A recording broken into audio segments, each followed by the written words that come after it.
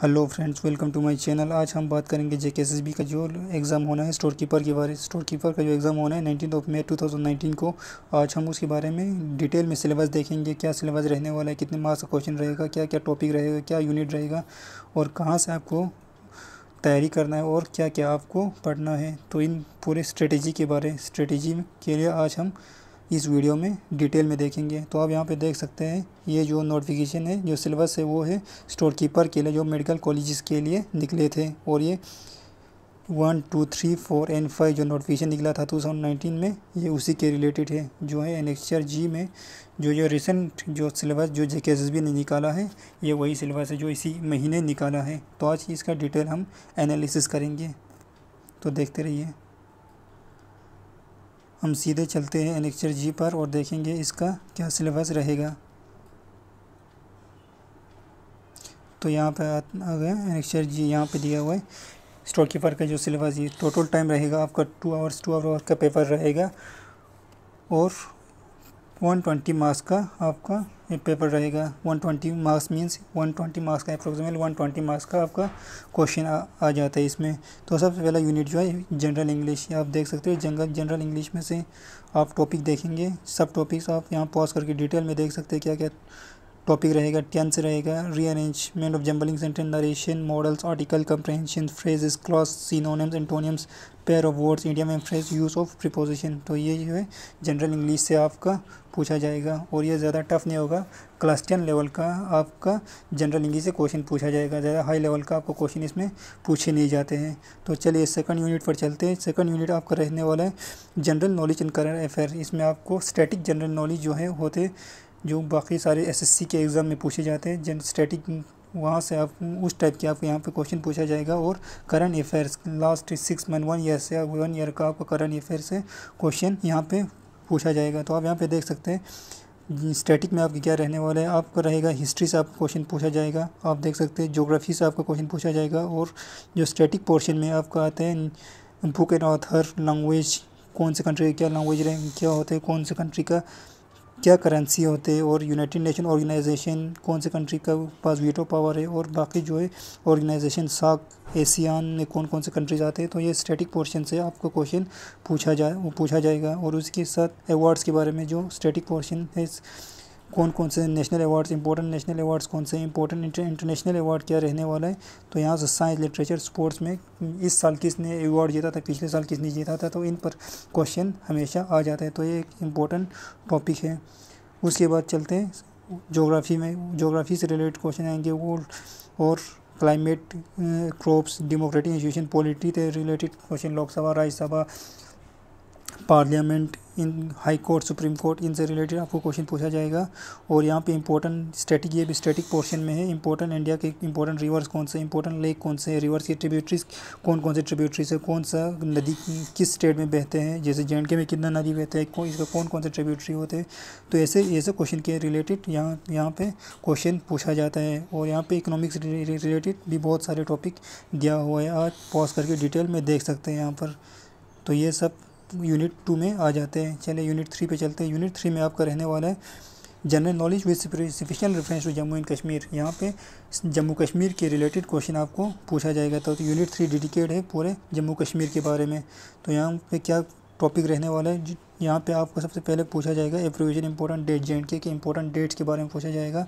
और यहाँ पे जम्मू कश्मीर का जो कॉन्स्टिट्यूशन अलग कॉन्स्टिट्यूशन है इंडिया से वहाँ से आपको क्वेश्चन पूछा जाता है। आर्टिकल थ्री सेवेंटी के बारे में पूछा जाएगा थर्टी फाइव ए के बारे में पूछा जाएगा, और कॉन्स्टिट्यूशन ऑफ़ जम्मू कश्मीर किस तरह से बना किस किस का रोल है तो इनके रिलेटेड क्वेश्चन पूछा जाता है। उसके बाद जे एंड का वेदर क्लाइमेट जोग्राफ़ी से जे का जो जोग्राफ़ी है, वहाँ से रिलेटेड आए क्वेश्चन को पूछा जाए, पूछा जाएगा और जे का जो स्टैटिक पोर्शन जो क्वेश्चन आते हैं रिवर्स एंड लेक जे का रिवर्स कौन से लेक कौन से इंपॉर्टेंट टूरिस्ट डेस्टिनेशन क्या क्या है और जे का हिस्ट्री क्या है और आर टी आई एक इंदर वाटर ट्रीटी क्या था और उसके रिलेटेड क्वेश्चन आपको यहाँ पर यहाँ पे आपको पूछा जाएगा। तो यहाँ पर जे एंड के रिलेटेड आपको हिस्ट्री से क्वेश्चन पूछा जाएगा पॉलिटी से पूछा जाएगा जोग्राफ़ी से पूछा जाएगा और कुछ इंपॉर्टेंट डेट्स के बारे में आपको पता करना पड़ेगा। तो ये तीन तीन चार यूनिट में सब यूनिट में से आपको क्वेश्चन आ जाएँगे। उसके बाद चलते हैं यूनिट सिक्स पर। यूनिट सिक्स में आपका रहने वाला है जनरल साइंस जनरल साइंस में बहुत ज़्यादा टॉपिक होते हैं। आप देख सकते हैं, यहाँ पर आप पॉज करके देख सकते हैं। इसका लेवल भी ज़्यादा टफ नहीं हायर लेवल से क्वेश्चन नहीं पूछा जाता। एलेवन ट्वेल्व लेवल का आपका क्वेश्चन यहाँ पे पूछते नहीं है ज़्यादातर। आपको सिर्फ़ क्लास क्लास सिक्स से लेकर क्लास सिक्स से लेकर क्लास ट्वेल्व तक सॉरी क्लास सिक्स से लेकर क्लास टेन तक अगर आप कंप्लीट करते हैं अगर आपके पास कंसेप्ट है तो ये पोर्शन आपके लिए बहुत इजी रहने वाला है। अगर कोई साइंस बैकग्राउंड से है तो आपके लिए भी ये पोर्शन बहुत इजी रहने वाला है। तो आप अगर किसी ने पढ़ा नहीं होगा तो आप क्लास सिक्स तो क्लास टेन लेवल का जो एन आते हैं एन तो आप एन से आप ये कंप्लीट कर सकते हो। एन से ही ज़्यादातर क्वेश्चन यहाँ पर आ जाते हैं। चलिए आगे चलते हैं। Mental ability test mental ability test भी यहाँ पर हायर लेवल का जैसे बैंक बैंकिंग में रहते हैं। उस लेवल का यहाँ पे पूछा नहीं जाता है। यहाँ पर भी बैंकिंग मेंटल एबिलिटी बहुत इजी बहुत इजी टाइप के क्वेश्चन यहाँ पे पूछा जाएगा। यहाँ ये भी टेन लेवल से आगे ऊपर यहाँ पे पूछा नहीं जाता है।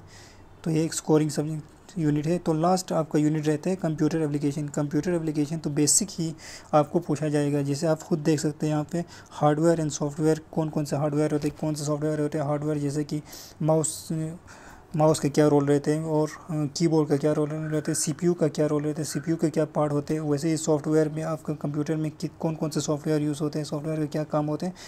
वैसे ही आपका उस टाइप के क्वेश्चन यहाँ पे पूछा जाता है और इनपुट आउटपुट डिवाइस जैसे अभी बताया इनपुट डिवाइस कौन कौन से आउटपुट डिवाइस कौन सा है, उनके क्या रोल होते हैं, आप उन, ऐसे रिलेटेड आपका क्वेश्चन आता है ऑपरेटिंग सिस्टम कितने टाइप के ऑपरेटिंग सिस्टम है, जैसे लिनक्स होते हैं विंडो होते हैं, वैसे ही आपको क्वेश्चन पूछा जाता है।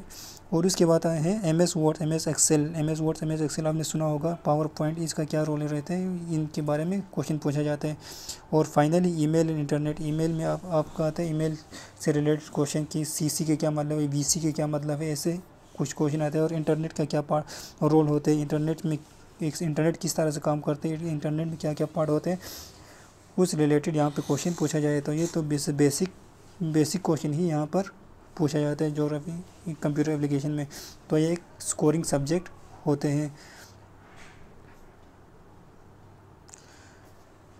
तो ये ओवरऑल सिलेबस तो आप कैसे इस, पेपर को अप्रोच करोगे? तो सबसे पहले मेरे हिसाब से आप जेन जो जो जेन जनरल नॉलेज होते हैं जोग्राफ़ी रिलेटेड जनरल नॉलेज होते हैं, जो जे के रिलेटेड वो सबसे ज़्यादा स्कोरिंग रहते हैं। इसको करने में आपको ज़्यादा टाइम भी नहीं नहीं लगेगा। अगर इसमें दो दिन आप लगाते हो तो ये टॉपिक आपका आराम से कंप्लीट हो जाता है ज़्यादा इसमें।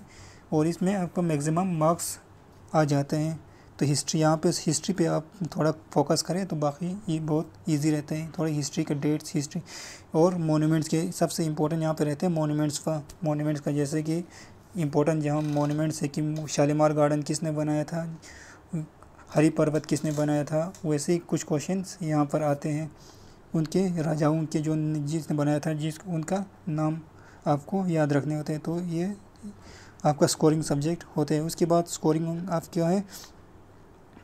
मेंटल एबिलिटी ये भी आपका एक स्कोरिंग सब्जेक्ट होते हैं। बहुत इजी टाइप के क्वेश्चन आते हैं, खासकर number series letter series coding decoding direction blood relation ये बहुत इजी आते हैं और यहाँ पर स्पीड डिस्टेंस टाइम का आपका थोड़ा सा पढ़ना पड़ेगा और लॉजिकल रेंज मेंटल एबिलिटी ये भी आपका ईजी ही होता है।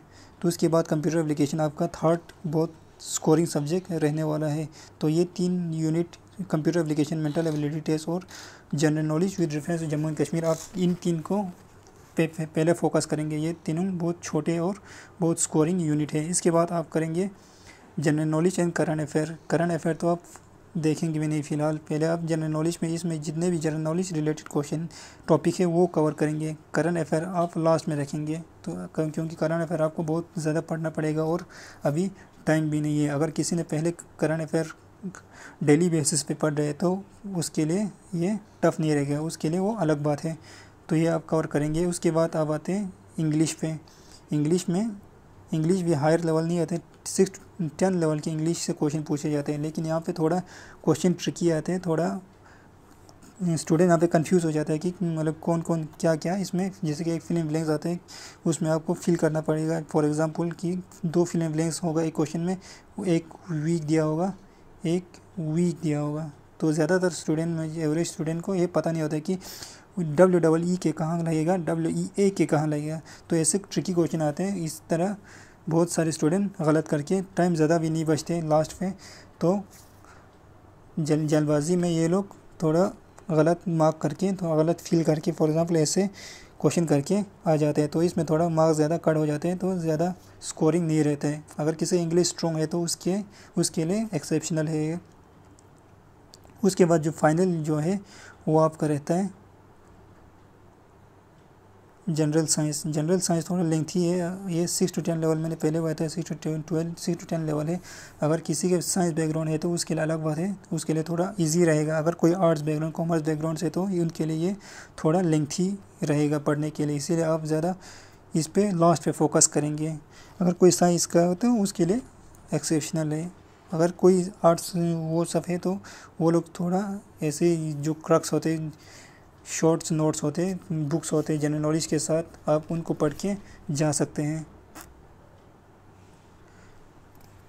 तो ये पूरा स्ट्रेटेजी अगर आप आपके पास ज़्यादा टाइम नहीं अगर आपने पहले से तैयारी नहीं कर रखा है तो आपके लिए एक ही बुक सजेस्ट करूँगा। इन पाँच दिनों के लिए वो वो बुक है जिसमें जनरल नॉलेज हिस्ट्री पॉलिटी सभी सेक्शन के आते हैं। एक तो अरिहंत के आते हैं जनरल नॉलेज की सब कुछ उसमें कंपाइल करके होते हैं। अरिहंत का अरिहंत पब्लिशर का और दूसरा एक इम्पोर्टेंट बुक जो सब कुछ सभी जो एसएससी के लिए, हर एग्ज़ाम के लिए जो सभी रेफ़र करते हैं, वो बुक है लूसेंट का। लूसेंट के नाम से एक बुक आता है जनरल नॉलेज का।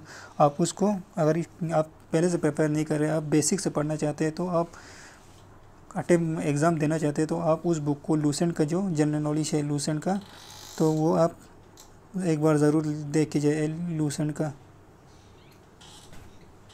लूसेंट का बुक ज़रूर देखें। तो आपको बहुत सारे क्वेश्चन वहीं से फंस जाएँगे। तो ये था पूरा स्ट्रेटेजी देखने के लिए। थैंक यू अगर आपको कुछ पसंद आया हो तो प्लीज़ इस पेज को सब्सक्राइब करें। नेक्स्ट वीडियो में आज हम प्रीवियस ईयर के क्वेश्चन डिस्कस करेंगे स्टोर कीपर के रिलेटेड थैंक यू सो मच